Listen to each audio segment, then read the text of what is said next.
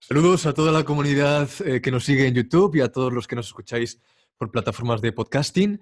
Con este episodio 36 cerramos la primera temporada de SAS Product Chat. Este año hemos hablado de muchos tópicos de programación y producto y también hemos invitado a profesionales del sector para que nos compartiesen eh, de su profesión en particular.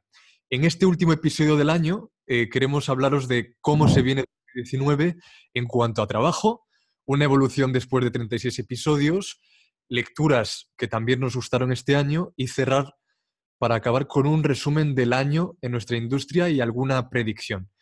Pero, como siempre, antes de esto, y por última vez este año, doy la bienvenida una semana más a Claudio Cosío. Muy buenas, Clau. Muy buenas, Dani. Saludos aquí desde Ciudad de México a todos, a toda la comunidad de Software Guru. Muchas gracias por estar escuchándonos durante pues la mayor parte de este año, ¿no? Sido interesante. Eh, inició ahí como un experimento que, que arrancó en la comunidad de Hitco. Eh, ahí gracias, Anchiro, por la oportunidad.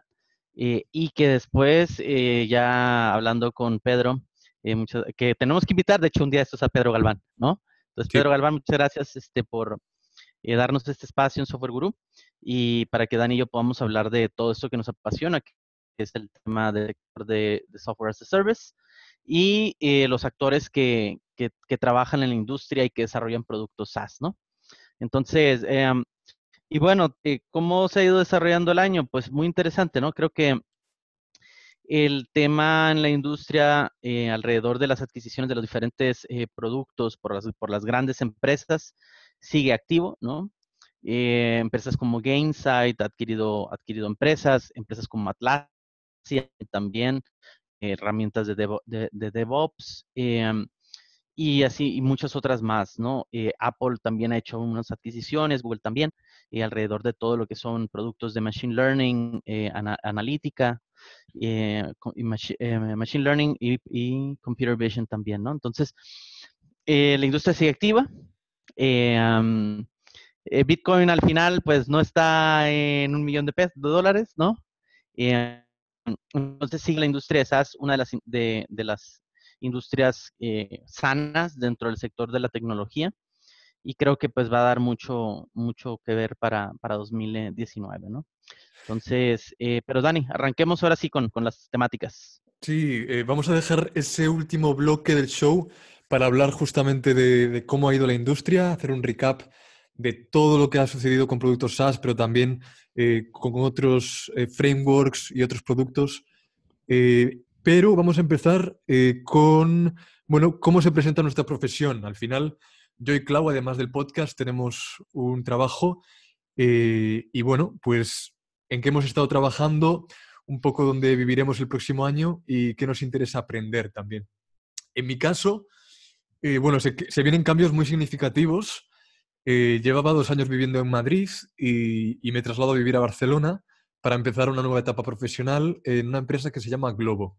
Es una empresa tecnológica, para los que no la conozcan, eh, es una plataforma tecnológica de reparto a domicilio. Tiene un modelo similar al de Postmates en Estados Unidos o a Rappi si vives en LATAM. Y estoy muy ilusionado porque este cambio supone no solamente para mí, sino la, la compañía está experimentando un crecimiento muy grande eh, está fichando a gente de tecnológicas como Uber, como Amazon, y, bueno, y trabajar en la parte de datos eh, en un producto que se mueve en la economía on demand y que además tiene dos lados del mercado, tiene los usuarios y tiene también repartidores profesionales, pues para mí es muy motivador. Y además puedo ser protagonista de la expansión de la compañía pues en África, en Europa, en LATAM. Y bueno, en fin, nuevo trabajo y nueva ciudad en 2019. Eh, y así que ese es mi, mi principal novedad para el nuevo año. ¿Cómo se plantea tu año, Clau? Sí, está Pues sí, yo voy a cumplir ya cuatro años en Nearsoft, em, lo cual, pues la verdad ha sido el, sí, creo que el primer trabajo de tecnología en el cual he durado más de, más tiempo.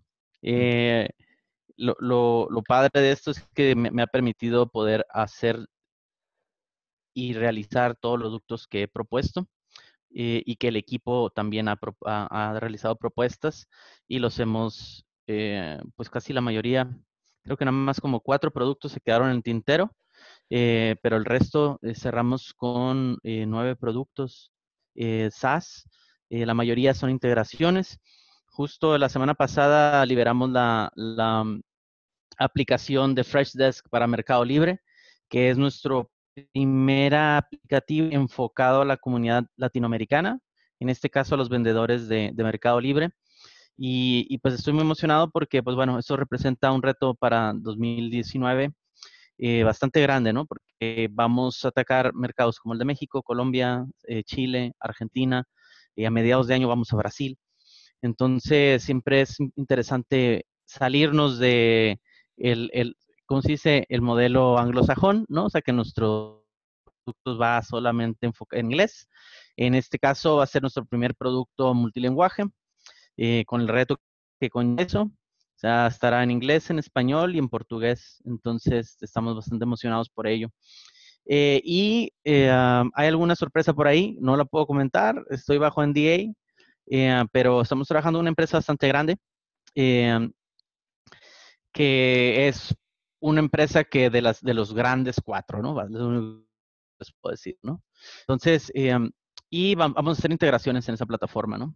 Entonces, el tema, y ahorita en las predicciones vamos, eh, voy a hablar un poquito del tema del marketplace, ¿no? Que es en donde hemos estado nosotros jugando o trabajando, perdón, eh, este 2018, ¿no? Y que para 2019 eh, va a ser una de las, de un, un, buen este modelo a seguir por todas las grandes empresas, ¿no?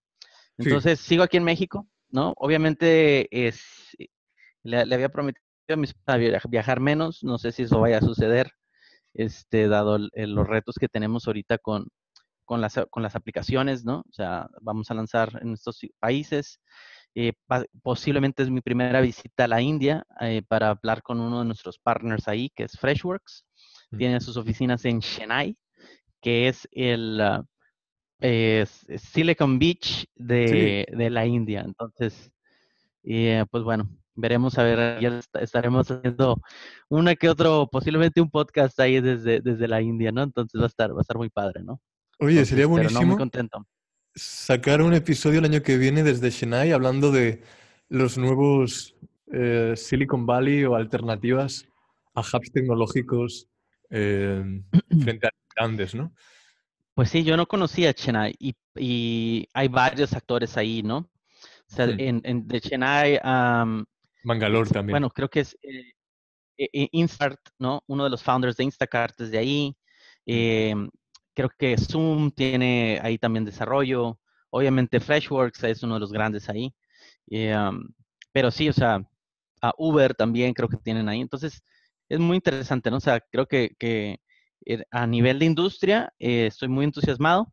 Realmente no soy muy fan de Asia, entonces, pero bueno, al final eh, es una buena excusa para ir para allá. Y si es de trabajo, me siento más cómodo que ir de turismo, entonces, pues así será esto. ¿Y qué aprender? pues estoy ahorita con todo el tema, entendiendo todo lo que son la, la, industria descentralizada de software, AKA de blockchain. Entonces, he, estado leyendo algunos libros eh, alrededor de eso, pero ahorita en la sección ahí lo, platicamos, ¿no? Pero eso es un poquito en lo que estoy interesado. Em, posiblemente salga un tema ahí de consultoría, a, una, a un, no, este, em, no, no son criptomonedas, más bien son tokens, eh, son este, una, es un token que se utiliza para eh, accionar em, una aplicación móvil, ¿no? O sea, es, como el output de la utilización de una aplicación móvil. Entonces, eh, ahí hablaremos, eh, ya veremos un poquito a ver de cryptoeconomics y puras de estas cosas, ¿no? Este seudónimos raros, pero vamos a ver qué, qué sucede en 2019. Buenísimo, pues vamos a pasar al bloque 2 del episodio, que es hablar un poco sobre cómo ha ido este año en cuanto al podcast. Hemos grabado 36 episodios con este. ¿Qué ventajas, qué satisfacciones nos ha generado? Eh, también hablar un poco de los episodios que más nos han gustado. Y bueno, eh, personalmente soy un usuario muy activo en podcasts. Eh, ayer la app que uso, Breaker, me envió un resumen con datos por usuario y solo en 2018 escuché 934 episodios y consumí 586 horas de, podcast. Con esto quiero decir que cuando nos propusimos eh, lanzar un podcast, personalmente no me pilló por sorpresa porque llevaba un tiempo con la idea de sacarlo, pero sí que a mí el formato que más me gustaba siempre ha sido el de conversación eh, o el de entrevista.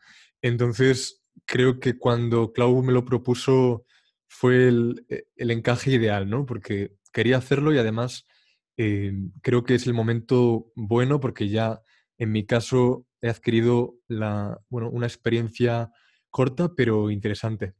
Eh, claro, el reto para mí fue encontrar algo que tanto a la comunidad de Software Guru como eh, a nosotros nos sintiera que nos sintiéramos cómodos, es decir, que nos motivase para, hacerlo semanalmente.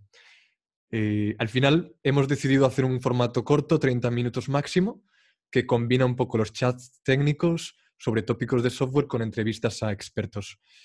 Y creo que eso nos enriquece mucho. Respecto a los números que vamos teniendo, el episodio más popular en YouTube fue el que hicimos sobre deuda técnica, seguido del de procesos ETL. Y el más descargado en sasproductchat.com fue el de métricas SAS, eh, muy seguido de dos, están empatados. El de el episodio 19 sobre calidad del código y el 23 con la entrevista eh, a Dan Olsen. Y los cinco países que más nos escuchan ahora mismo en el podcast por orden son España, Estados Unidos, México y aquí viene la sorpresa para mí, no me lo esperaba. Japón y Suecia también están ahí en, top eh, ranking de descargas. Y luego, más allá de estos números y descargas, eh, mis episodios favoritos fueron el de, em, el de Dan Olsen, me gustó mucho, y también el de David Gasquez, la entrevista con el Data Engineer de Buffer. El episodio 15 también me gustó particularmente, que grabamos sobre Agile y equipos de producto, en el que participó el, el, Product eh, Owner de Proxio, eh, Fran Rodríguez. Y eh, bueno, pues para 2019, con el podcast más consolidado, queremos seguir acercando a la comunidad muchos más temas SaaS. Se pueden hacer, y no exagero, mil podcasts mil episodios diferentes sobre esta industria sin pisar temas. Y en 2019 también queremos tener invitados increíbles que nos enseñen, que nos inspiren y que nos ayuden mucho a entender temas que, bueno, pues somos menos expertos o que sencillamente no conocemos tanto. A nivel técnico, creo que el audio es más correcto ahora que al principio, sobre todo en mi caso, eh, hubo algún problema de, conectividad en los primeros episodios en la red de Hitco, pero bueno, en este caso, en, este canal, en Software Guru, creo que todo lo que hemos grabado ha sido de calidad en cuanto a audio. Y bueno, quizá hay alguna mejora en, cuanto a cámara, en cuanto a webcam. Pero yo creo que lo importante para nosotros son los contenidos, eh, la consistencia en la frecuencia en la que publicamos y al final la comunidad, estar atentos a Twitter, a los comentarios en YouTube. Y creo que eso lo hemos ido haciendo. ¿Cuáles son tus conclusiones, Clau? Sí, eh, al final creo que el, eh, una de las pautas para mí eh, fue, o sea, contenido en español, ¿no? O sea, definitivamente el, el hecho de que SaaS esté muy considerado significa que no hay oportunidades para contenidos, ¿no? Para generar contenidos. Y yo, y yo era, creo firmemente que en español todavía hace falta mucho. Eh, de hecho, creo que el, contenido en escrito todavía hace falta mucho. Eh, ahí sí hay sus diferentes medios, ¿no? Eh, los ya conocidos de weblogs, ¿no? Este, al 140 o hipertextual y todos estos, pero son mucho de, son, no son tan técnicos, no son muy enfocados al tema de tecnología. Definitivamente Software Guru es uno de los más destacados por ahí, pero creo que todavía hace falta eh, más contenido en español, ¿no? Este escrito. Entonces, por lo menos estamos iniciando en audio, en video, que es este para las nuevas generaciones, creo que es el, el default. Entonces, eh, para mí es un, es un gusto poder estar aquí eh, compartiendo la, la, poca experiencia que tengo. y sobre todo los, los lo, lo, que hice mal, ¿no? O sea, cuando les, si no les menciono algo, que posiblemente eso es algo que nos debería, eh, deberíamos tomarnos nuestro espacio cada mes y es como los anti-patterns, ¿no? O sea, los, los, los antipatrones, ¿no? Que les llaman en temas de, programación, ¿no? O sea, cosas que tú piensas que en un lenguaje se pueden hacer, pero en otro, pues definitivamente es un gran no. Eh, o una manera de estructurar el código que, que no beneficia al lenguaje de programación que estás desarrollando, en el cual estás desarrollando, ¿no? Entonces, y hay muchos antipatrones para todo, ¿no? Para desarrollo de producto. Eh, creo que el tema de, a mí el, episodio que más me gustó eh, fue el que hablamos justamente eh, de la deuda técnica, porque creo que no se habla suficiente de ello. Eh, creo que para los siguientes episodios deberíamos llegar como a, procesos específicos, un poquito haciendo lección de cómo evitar eh, la deuda técnica, eh, porque es algo, es, es un output natural de desarrollar productos de software, ¿no? O sea, no vas a, no, no hay código perfecto. Eh, y sobre todo porque cuando estás, en, en, nuestro caso, que estamos trabajando con muchas eh, APIs que cambian a cada rato, ¿no? O, o versiones también de plataformas de SDKs. Entonces, eh, es normal la deuda técnica, ¿no? es, un, es un output em, sano hasta cierta manera, ¿no? O sea, quiere decir que estás evolucionando constantemente. Entonces, ese, me gustó bastante. Obviamente, la, entrevista con Dan Olson se rifó. O sea, habló en español, ¿no? O sea, es, chapó, ¿no? Para Dan. Entonces hay un, fuerte saludo para él. Esto no quiere decir que ninguno de los otros entre, que entrevistados no hayan sido buenos, simple y sencillamente eh, destacó él porque, bueno, eh, no es su lengua materna e hizo el cambio, el cambio ¿no? Entonces, y, lo, y lo habló bastante bien. Entonces, eh, y bueno, eh, para el resto de los, de, las, de los, datos, pues bueno, sí, sorprende, ¿no? Japón, este, Suecia, que esté por ahí. No sé si, si sea gente ahí de, de, de, la gente de Mapillary que estén por allá, pero bueno, eh, la verdad que qué bueno que, que, estamos ahí por todo, por todo el mundo. Eh, y Estados Unidos, pues es natural también, ¿no? Pues hay mucho mexicano por ahí, español sí. también, este, uruguayo, argentino, entonces están por todos lados. Muchas gracias a todos ustedes por, por escucharnos y denos feedback, por favor. Este, creo que no, siempre nos ayuda un montón. Y bueno, este, con eso cierro, cerramos este, este apartado, ¿no? Genial. Seguimos con eh, una lista de libros que nos han gustado en 2018 y que, bueno, pues os recomendamos para leer en 2019. El primero que quería comentar yo es eh, It Doesn't Have to Be Crazy at Work, de los fundadores de Basecamp. Este libro es muy bueno. Habla sobre el equilibrio vida-trabajo. No te preocupes si no tienes mucho tiempo. Eh, se lee muy rápido. Y aunque no hay traducción en español, pues te lo compras en inglés. Y seguro que todos los desarrolladores y, y comunidad de software guru que nos escuchan, pues ya programan en inglés. Así que es algo más de texto para leer. Eh, Fright y DHH y David eh, dan un montón de consejos en el libro sobre cómo eh, la tranquilidad debe ser la, la, máxima que guíe una cultura empresarial. Incluso defienden eh, que, que, es la clave para generar beneficios. Claro, la pregunta que, nos, que me surge a mí es, ¿es posible lo que ellos plantean en todos los trabajos y sobre todo en países con la cultura de calentar la silla? Bueno, no lo sé. Eh, eso habrá que sacar conclusiones. Pero, pero, bueno, es la primera lectura que recomiendo. La segunda es sobre eh, programación de videojuegos, se llama Game Programming Patterns de, Robert Nistrom. Es un muy buen libro eh, sobre patrones de diseño. Es útil no solo para programadores, sino también para cualquier persona en el ámbito de la programación. Eh, me refiero que no solamente para programadores de juegos, sino para cualquier persona en otro ámbito de la programación. Es muy entretenido leer, eh, e incluye suficientes ejemplos un poco para, para que seamos conscientes de la utilidad real que representan. También dejo, dejo el link en la descripción porque está disponible online. Y la tercera lectura es la, la tercera oleada. Creo que no tiene título en español, pero se llama The Third Wave es de Steve Case, fundador de American Online, la empresa que, que fue la más valiosa en cuanto a crecimiento en, los 90. Y ahí él cuenta que el Internet tuvo, tuvo tres etapas. Primero se construyó la infraestructura, luego se monetizó y luego se construyeron los negocios sobre esa infraestructura y, se moldeó al resto del mundo. Y, bueno, eh, la primera oleada le tocó a él y ahora habla de que, de que la segunda la estamos viviendo con Snapchat, con Twitter, con Facebook y, construyendo negocios alrededor de estos. Y, y, para esta oleada, esta third wave que llama él, pues habla del Internet del todo.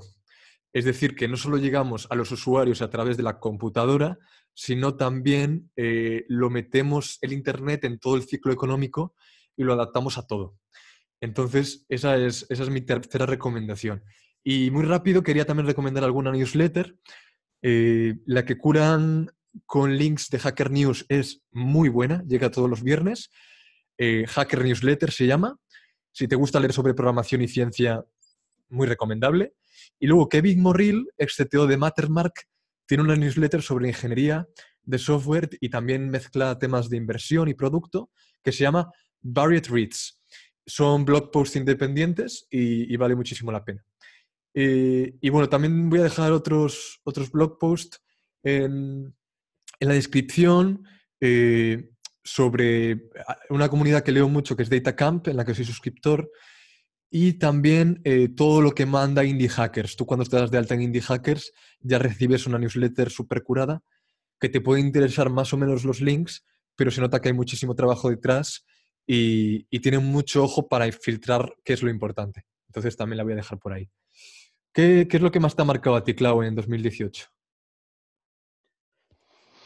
Pues eh, sí, eh, mira, de libros hice también el de eh, Doesn't Be Crazy at Work. A mí me sirvió mucho ese libro porque sí, a ver, em, la ventaja que tienen em, Basecamp en este caso, X37 Signals, es que ellos nada más tienen un producto, ¿no? También por eso no es, no es una locura. Se acataron a un solo producto. Em, cuando eres, tienes multiproductos, pues sí es una locura, O sea, o es no, no, o eres, eres una empresa de servicios, ¿no? También es un poco una locura, porque vas a los tiempos de tu cliente, realmente tú no puedes hacer pushback y decir, hey, es a mi tiempo. Lo pueden hacer ciertas firmas, ¿no? Eh, y, y, lo dudo mucho, ¿no? IDEO, Fjord, eh, estas grandes, grandes eh, boutiques de software, o más bien butipación, ¿no? donde lo venden eso. Es aquí es calmado, aquí vamos innovando, esto te cuesta un lano, ¿no? Y ahí sí, pero la empresa de día a día lo veo muy difícil, ¿no? Que lo adopte todo. Pero lo que sí puedes adoptar es como los procesos, ¿no? O sea, eso que te llega algo el viernes, eh, pues lo tienes que pasar al lunes, ¿no? O sea, no lo pases al fin de semana, o sea, no lo trabajes, ¿no? Y ahí es como llegar a un acuerdo también tú con tu cliente antes de hacer, o sea, te prepara para poder hacer engagements y llevar la cosa un poco más tranquilo. Pero así como lo pintan todo eso, es más para una, lo veo una empresa solo producto nada más. Eh, donde tú puedes ya un poco estructurar todo, ¿no? O sea, no, no, no, lo, no, no tienes esta locura, ¿no? Entonces, eh, pero no, se me hizo muy bueno lo que, lo que escribió David, lo que escribió Jason, siempre me quito el sombrero. Igual he comprado Rework, este, puras, todo, la mayoría de sus libros los he leído, hasta el primero que hicieron de 37 Signals, que era em, Remote, ¿no? Creo que fue el primero que salió. Entonces, eh, muy buenos todos los libros. Eh, el segundo libro que leí es de Elad Jill, que se llama uh, The Growth Handbook, High Growth Handbook, es muy bueno. Eh, este fue, lo publicó la gente de Stripe, Simón. y está padre porque no tienes que leerte todo el libro, va por partes. Yo realmente me clavé más en el tema de marketing, me clavé en el tema de producto, el, cómo haces el, el ¿cómo se llama? El reparto de, del, equity también, es muy bueno esa, esa parte. Eh, eh, y lo recomiendo altamente para cualquier este, founder, eh, to be founder y un founder actual, ¿no? Es muy bueno. por tercero, estoy leyendo ahorita que se llama, un libro que se llama Crypto Assets.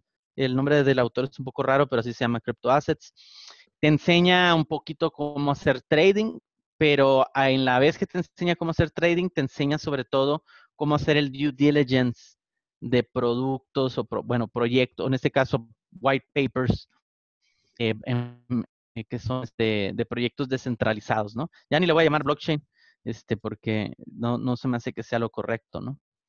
Entonces, eh, y realmente está interesante, muy bueno. la lectura es pesada. Este, tengo también otro libro que no he terminado de leer, que es el de Dan Topscott, que es este Blockchain Revolution. Y está muy padre, pero es muy lento, ¿no? O sea, te van diciendo un montón de cosas y sobre todo para alguien que es nuevo.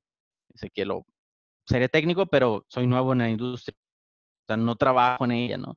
Entonces, este, el, leer blog posts y el tener, seguir gente en Twitter no te hace ser experto, ¿no? Entonces, eh, para nada soy experto, entonces soy novato 100%, sí, la lectura es lenta, pero muy, muy, muy, eh, te abre los ojos, ¿no? Entonces está, está, muy bueno.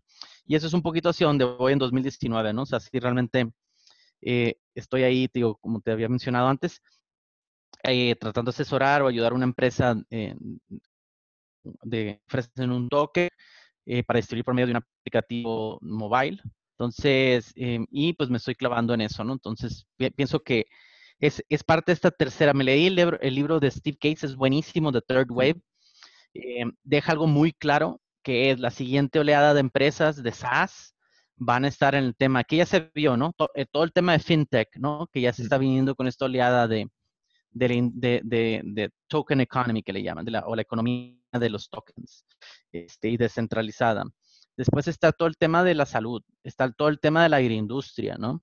Que hay un shout out a toda la gente del Absol, ahí en Zacatecas, estamos trabajando junto con Nearsoft para apoyar ahí los proyectos de, eh, del campo que está por ahí. Entonces, eh, pues y eso también fue lo que me, inspiró a, a, hacer este proyecto con el Laboratorio de Software Libre de la Universidad de Zacatecas y el Consejo de Ciencias y Tecnología del estado de Zacatecas, ¿no? Entonces, em, eso es ahí por donde vienen los siguientes tiros, ¿no? O sea, ya todo el tema para de, cara al consumidor, pues está, no es que esté agotado, van a salir cosas nuevas, lo, se ve y sobre todo en la industria de los móviles eh, se ve, ¿no? O sea, ahorita con la salida, la, aplicación más descargada dentro del App Store es TikTok, que es una aplicación de eh, Tencent, eh, que es una empresa china.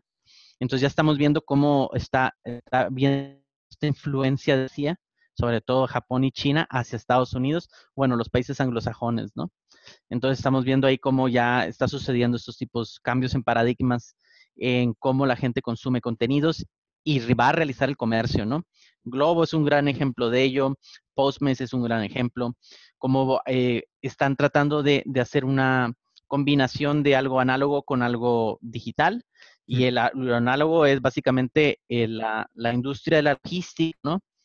Eh, que también es parte, también lo menciona, no muy en concreto, pero lo menciona Steve Case en el libro de Third Wave, ¿no? Entonces, esos han sido mis libros. Em, hay otros más. Me pedí el de Tools of Titans de Tim Ferriss.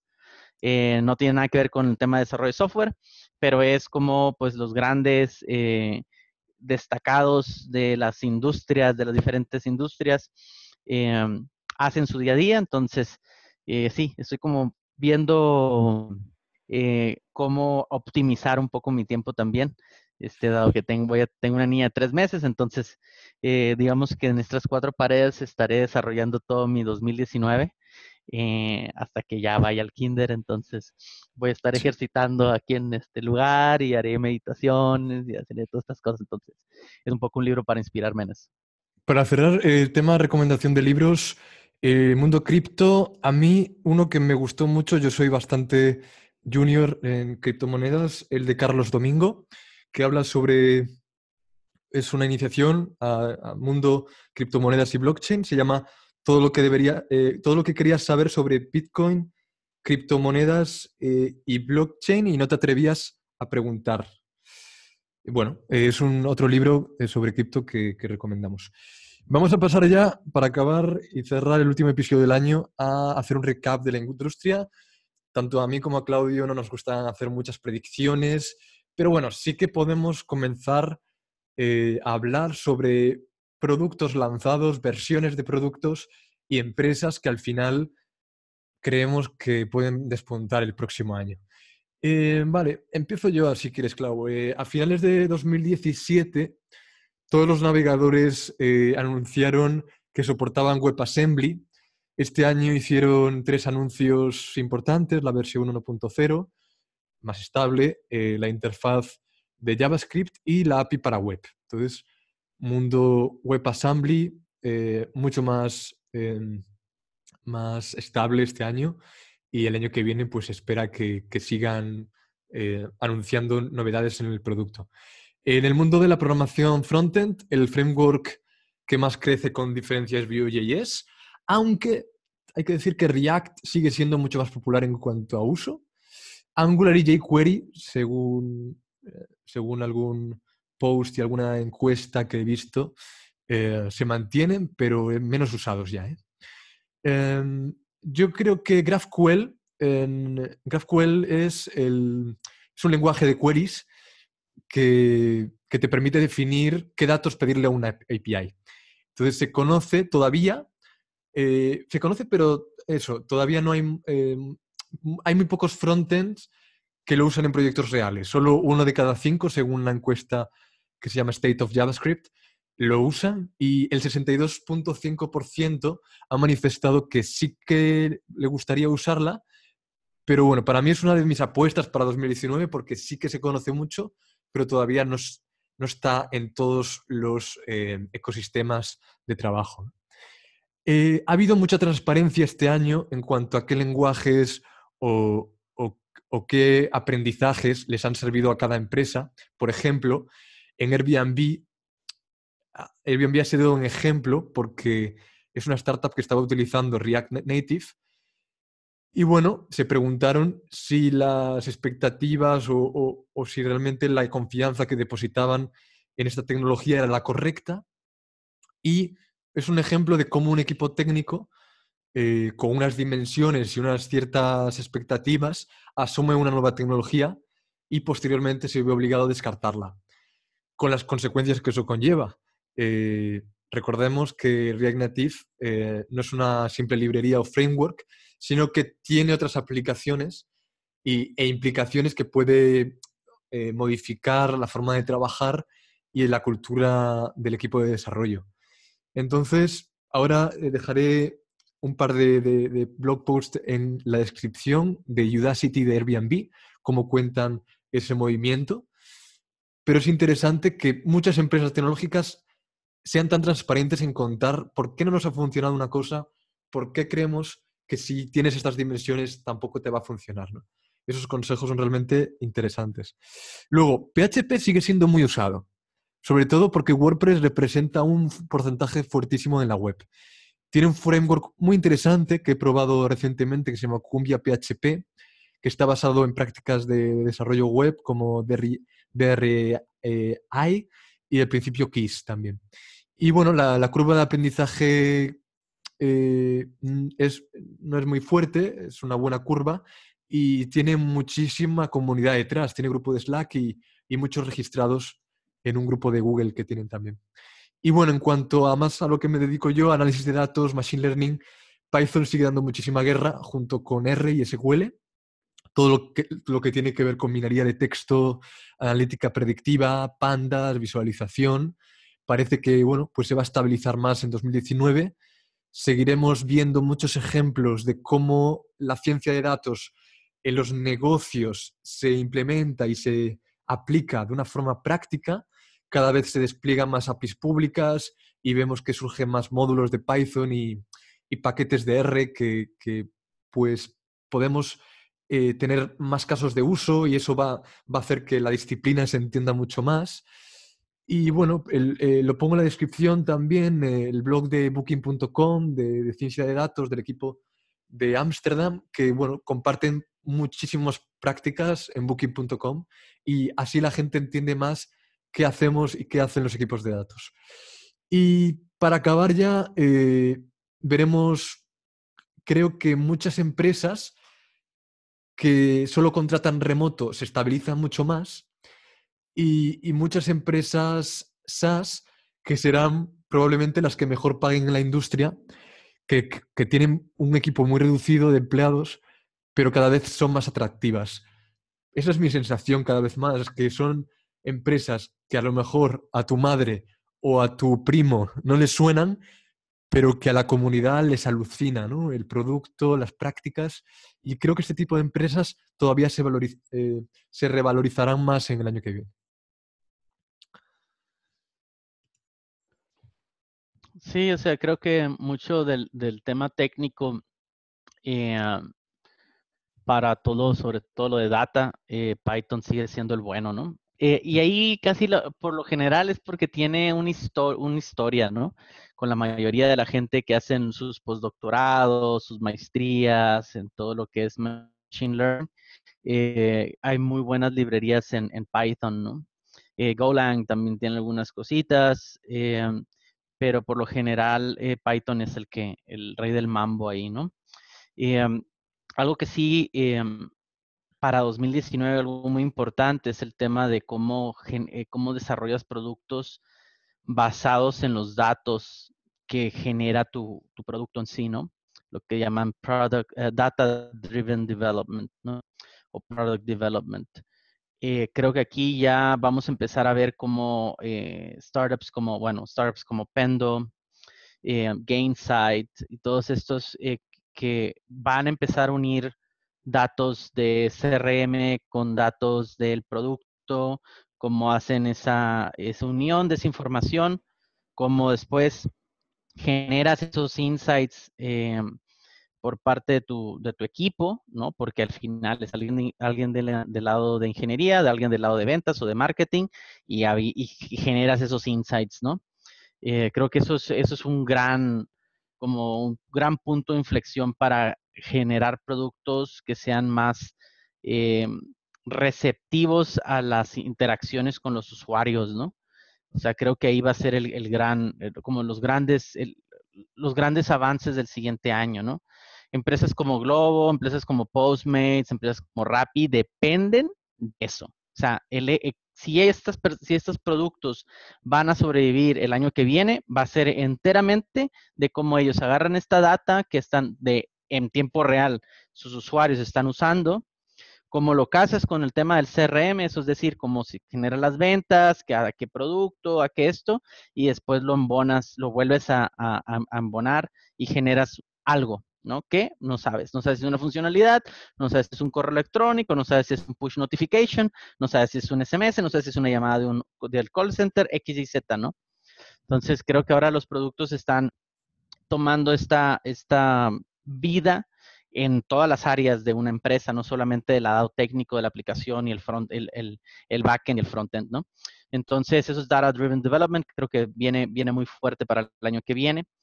Eh, empresas como Intercom van a ser un despunte muy fuerte también, todo el tema de Customer Success, o sea, va a ser algo que, tu producto SaaS va a tener que tener de alguna manera u otra, ¿no? Va a tener que tener esa pata. Em, creo que el tema más importante y que no tiene nada que ver con productos SaaS en sí, pero es un componente de todo eso, es el talento, ¿no? O sea, cómo vas a captar talento también, ¿no?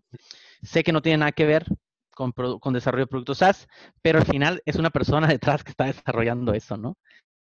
Entonces creo que va, las empresas van a estar cada vez más, más atentas a cómo reclutan, la manera de reclutar, la manera, el tema, lo que habíamos dicho, la cultura, ¿no? O sea, tenemos libros como, como Don't, eh, Doesn't Have to Be Crazy at Work, van a, son, son son como faros, ¿no? O sea, te están diciendo por acá es la movida, ¿no? Y eso es, ¿por qué? Para tener una cultura tranquila de trabajo, donde la gente pueda justamente desempeñarse mejor, ¿no?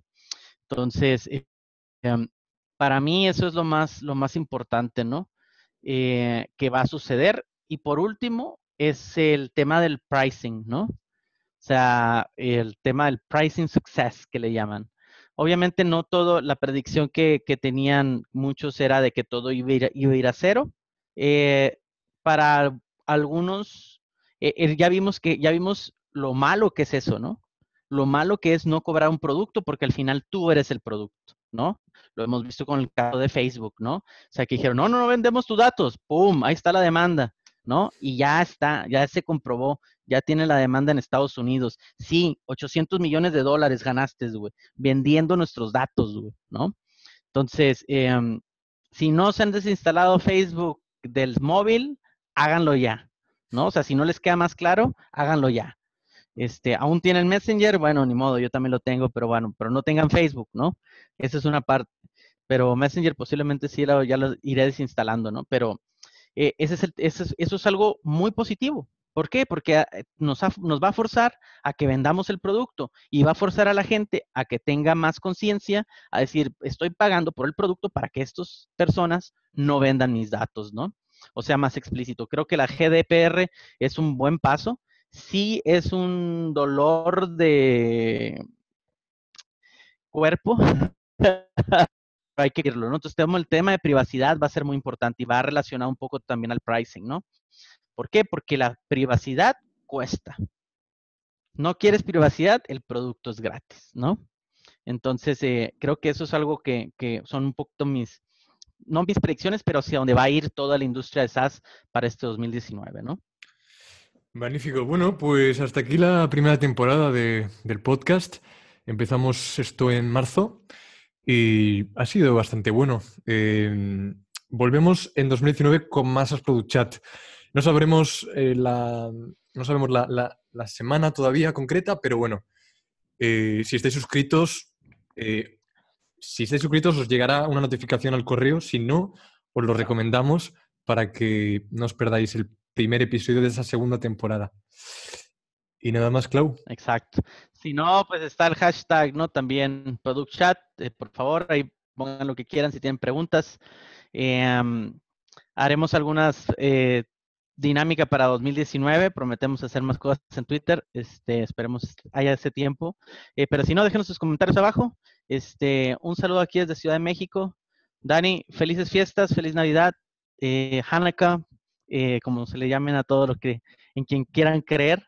Eh, felices fiestas, pásenla bien con su familia, disfruten de este tiempo para estar en, con los brazos abiertos, el corazón receptivo y sobre todo, pues bueno, mucha esperanza de que el 2019 va a ser mucho mejor que el 2018. Feliz Navidad para todos. Y próspero año nuevo. Chao, Clau. Chao a todos.